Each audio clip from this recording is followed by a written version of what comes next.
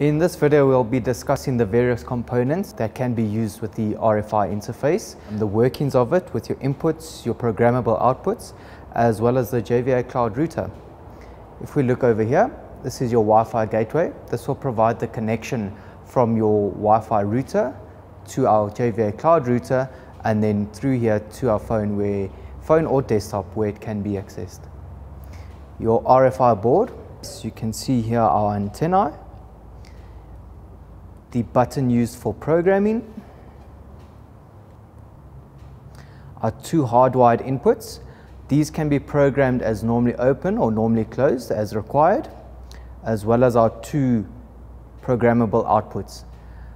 As default, they come as siren and strobe, but can be used in any other condition as per our programmable menu on the keypad.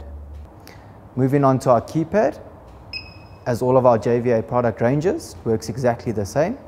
Moving onto our screen, we can then see in zone number one, the beams indicated as 01, 02 and 03, showing that there are three RoboGuard beams programmed into our RFI interface. The number on the right hand side will indicate your signal strength, 5 being your highest, 1 being your lowest, and that is all depending on how far away the RoboGuard is away from the RF interface.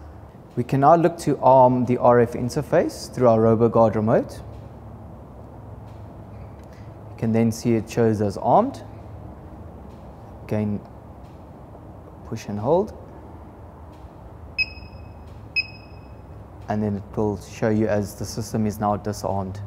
You'll also notice on the RFI board, whenever there is a, a RoboGuard signal coming in, it will show there, as well as the armed condition with the LED over there and to disarm that LED will go away. Moving on to our router.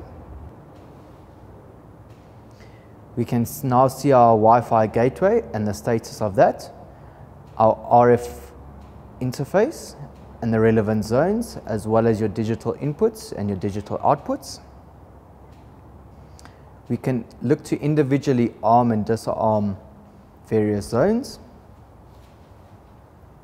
That will show in there by the lock that it is in the armed condition. On our RFI board shows as armed on the RFI. To disarm that individual zone,